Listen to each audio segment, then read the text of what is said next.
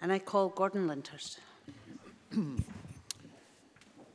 to ask the Scottish Government whether it will provide an update on its response to the recent severe weather. John Swinney. Presiding officer, last week's severe weather, which included the first ever red warning for snow, posed significant challenges across Scotland. The Scottish Government's dedicated resilience operation, which monitors weather and flood alerts all year round, was activated in advance of the severe weather and continued to meet regularly to ensure ministers were kept fully updated on any developing issues. The operation also worked closely with Scotland's network of resilience partnerships, which brings together emergency services, local authorities, health boards, power companies and others to ensure that we understood any challenges happening on the ground and could offer support and guidance where necessary. This process enabled strong and decisive management of a challenging situation and ensured that practical public safety guidance was issued in advance of each change in the warning level. The Scottish Government Resilience Room facility remains active while we monitor the national recovery and any potential impacts of flooding that follow the thaw of the snow.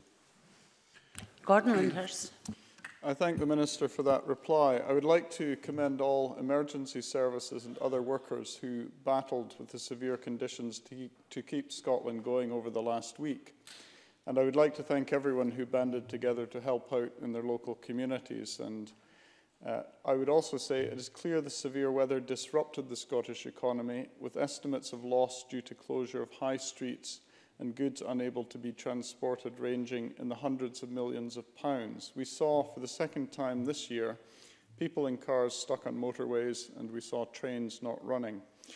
Will the minister be assessing whether improvements to infrastructure to mitigate the effects of extreme winter weather can be undertaken to enable even better responses in future? And what can be learned from other countries more familiar with severe weather? John Swinney. Um, first of all, let me associate the government with the comments that Mr Lintard has made about the role of the emergency services and also about um, countless volunteers the length and breadth of the country. who have made uh, an extraordinary contribution to supporting individuals during this period of, eh, of, of severe weather, but also in eh, bringing about the rapid recovery from that.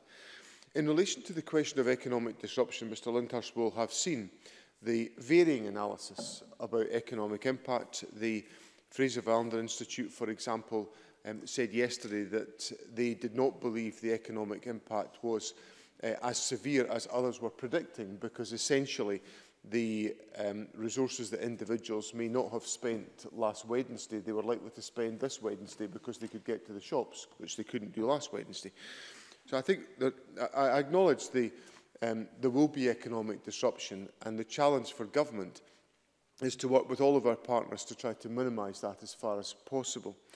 That brings me on to the, the latter part of Mr Lindhurst's question where after every severe weather incident, the government undertakes a, a review of how that has been handled to identify if there are any lessons that can be learnt. I think one of the key lessons that was applied in this instance was the very early, timely and specific warnings that were given to avoid travel, which reduced significantly the volume of traffic on our transport network and, as a consequence, resulted in um, Eh, many fewer uh, motorists and travellers being stranded on our transport networks than, than would have been the case had we not given such clear warnings about this. In relation to other jurisdictions, of course we look at other countries, and part of the debate we have to have is about what is the level of resourcing and resilience that we ordinarily should have in place it, eh, to manage such circumstances. Obviously, there is a lot more could be spent to uh, provide for these events, but we also have to be mindful of the fact that we don't face these events on every single year. So there's a balance to be struck there. And I think what was clear to me over the course of the last week or so was that we do have a resilience capacity which is able to be moved around the country to meet um, Uh, to, to assist other parts of the country that are facing more difficult challenges. And that's an important part of the collaborative arrangements that the government has put in place. Gordon Lyndhurst. Um, I thank the Minister for that reply. The impact on our roads becomes ever clearer as the snow thaws and recedes. We learnt recently of the 20% SNP cut to pothole funding since 2010, and the effects of that have been certainly seen all too clearly here in Edinburgh. Given the potentially significant and additional damage to our roads as a result of the recent severe weather, is the government able to give a commitment to provide more support for our roads networks and local authorities to cope with this additional repair burden coming, as has been indicated, um, as perhaps a, an exception to what we're used to as weather here? John Swinney. Uh, Presiding officer, the, the government itself has uh, taken action to increase the resources that we put in place for road maintenance and uh, we increased that by £45 million pounds in the budget. In relation to local authorities, obviously local authorities uh, have to take their own decisions about the level in which they invest in, in roads. Um, the Conservative Council in my area, for example, did not invest as much in road repairs this year as the SNP group proposed in the budget process, which is a matter of great regret to me that that was the case, so it varies around the country. Um, we have, as a government, activated the Belwyn formula, which has um, made available to local authorities the opportunity to put forward claims of um, extraordinary expenditure that are associated with handling um, these, uh, these incidents and obviously any applications to the Belwyn formula uh, through the Belwin formula will be considered in due course by the Finance Secretary and local authorities will be advised. Eh, I have four members who wish to ask a question. If we are fairly sharp with questions and answers, everyone will get in. Ross Greer. Thank you. The SDUC have collected stories across the country of workers have been treated shockingly during the extreme weather by employers who have told them that they have to turn up to work despite the weather warnings, putting them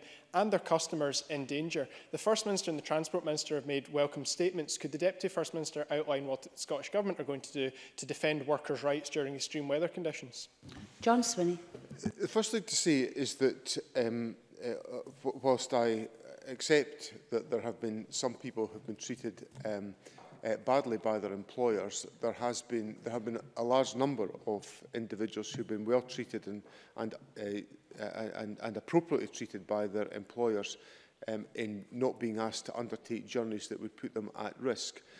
Um, the government has, uh, yesterday the government met with the Scottish Trade Union Congress as part of our ongoing dialogue with the STUC.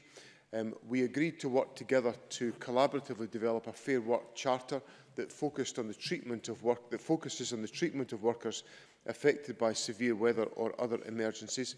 That is what that we'll take forward as part of our ongoing relationship with the STUC.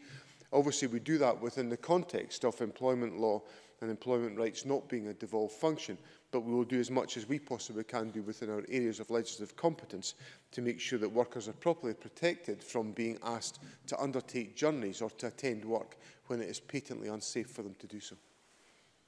Christine Graham. Uh, thank you, Deputy Presiding Officer. Uh, can I ask the Cabinet Secretary about the statement the Minister of Transport may, meant about made, made apologise about deduction of wages? I contacted the two councils. Mayor Midlothian Council has paid in full all employees who couldn't get to work during particularly the red warning time. But Scottish Borders Council are only giving one day of full pay. Otherwise, they're asking those who couldn't work at any point to actually take it either off their flexi time or leave to make up the absences. Now, to me, that is docking wages by another name. Can I ask if the Cabinet Secretary or the Minister of Transport would raise this issue with COSLA? John Swinney. Uh, we, we certainly will be very happy to take forward discussion on this question with, uh, with local authorities. Um, as I said in my earlier answer to Mr Greer, we think it is important, and our dialogue with the STUC reinforces this point, that individuals are treated fairly and appropriately. Um, as uh, Christine Graham cites, um, Midlothian Council have taken um, an appropriate approach in that respect, uh, but we will be happy to raise these questions with the Convention of Scottish Local Authorities to ensure that there is fairness for individuals who are affected by these circumstances. Colin Smith.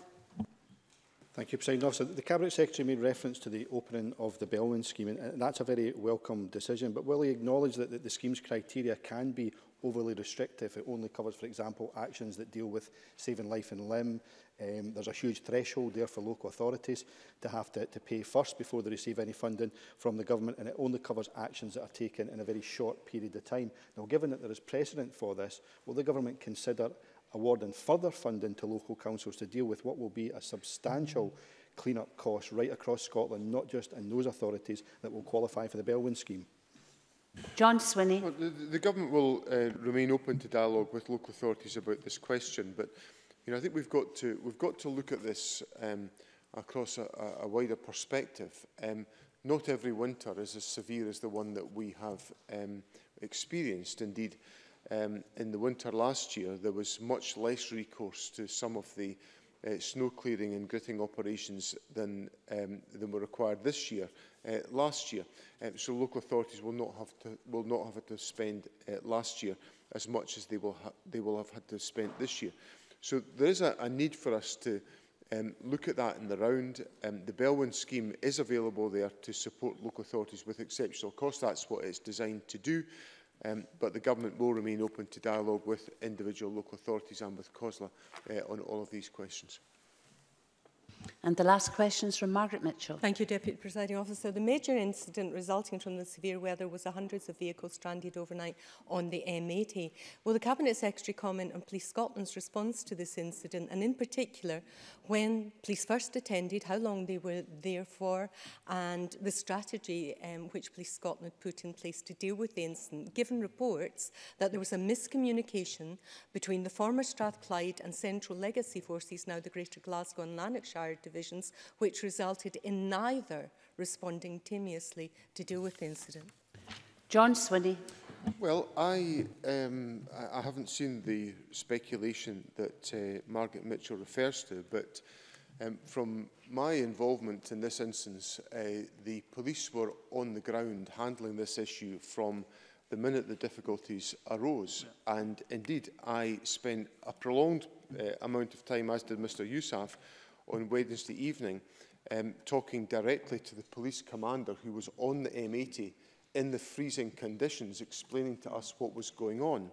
And uh, the difficulty that was experienced at the M80 was the fact that a number of vehicles could not obtain traction in either climbing out of the uh, up from the hill from Castle Carey or uh, in either direction.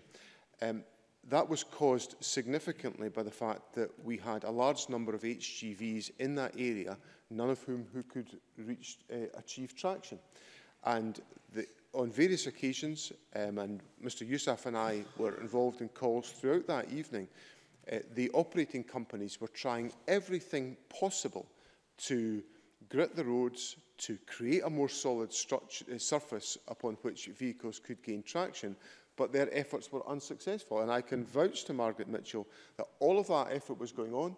The police were there throughout the whole incident. They were handling a very difficult situation to handle, um, but the, the conditions were very, very poor. That is why the Minister gave such clear warnings to reduce travel on Tuesday Um, and we intensified those warnings on Wednesday morning when the red warning came to us.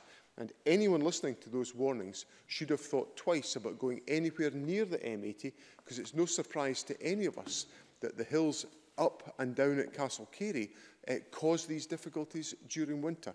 So I assure Margaret Mitchell the police were absolutely all over the incident. Um, were giving us quality information from the scene of the incident and I put on record my thanks to the police officers who were out on that motorway in the freezing cold for giving us such quality information as we handled the issue.